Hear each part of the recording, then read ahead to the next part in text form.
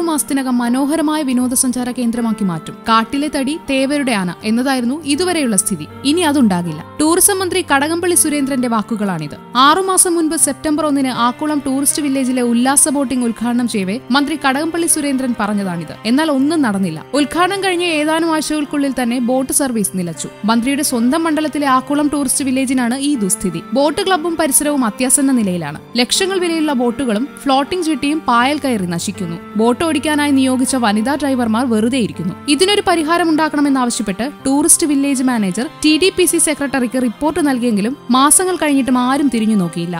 ഈ ഫ്ലോട്ട് ഇങ്ങനെ കിടക്കുന്ന സമയത്ത് ഞങ്ങൾ ഈ താന്ന് ഈ ബോട്ട് താന്നു പോയി. അതുകൊണ്ട് ഞങ്ങൾ അത് അറിയിച്ചു. ഇങ്ങനെ ഞങ്ങൾക്ക് ബോട്ട് ശരിയാക്കി തരണം. ഞങ്ങൾക്ക് എന്നാലേ ബോട്ട് പോകാൻ പറ്റുള്ളൂ. ആൾക്കാരെ അതിൽ കയറ്റാനും പറ്റുള്ളൂ.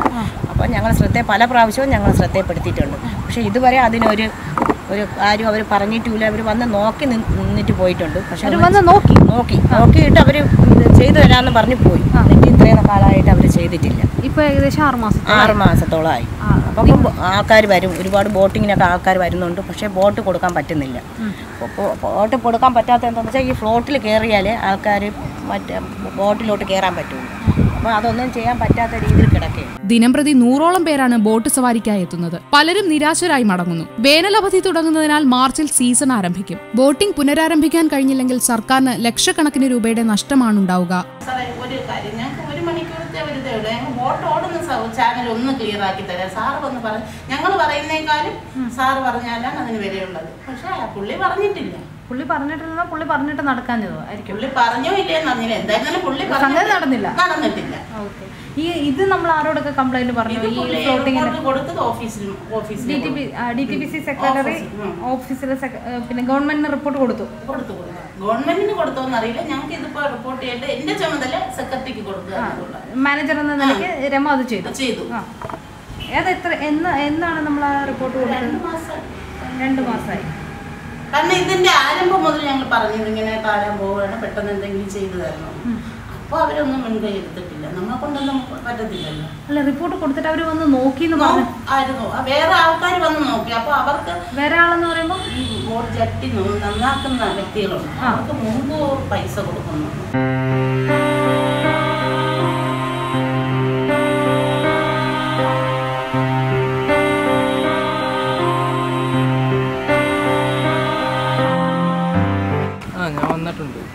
പക്ഷേ ഇത് കണക്കാണ് സിറ്റുവേഷൻ സിറ്റുവേഷൻ എന്ന് വെച്ചാൽ ഇവിടെ ബോട്ടിംഗ് ഒന്നും അങ്ങനെ എപ്പോഴും വർക്കിംഗ് അല്ല.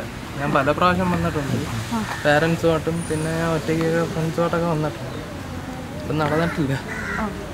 എന്താ ഇവർ മറുപടി പറയുന്നത്? ഇവർ മറുപടി ഇതുവരെ ആയിട്ടില്ലെന്നാണ് പറയുന്നത്. ബോട്ട് പറയുന്നത്. ആ ഓടുന്നില്ല. ബോട്ട് ഓടുന്നില്ല. അങ്ങനെ പല കാര്യങ്ങളും പറയുന്നുണ്ട്. അപ്പോൾ ബോട്ടിംഗ് നടക്കാതെ നിങ്ങൾ തിരിച്ചു പോകും. കുറച്ച് സമയം കഴിഞ്ഞിട്ട് തിരിച്ചു പോകും. ഞങ്ങൾ കുറച്ച് നേരം നോക്കിയിരിക്കുന്നു നല്ല ബ്യൂട്ടി ഉണ്ട് സാർ ആ. എന്നിട്ട് പിന്നെ ഭയങ്കര നിരാശയാണ്. അല്ലേ?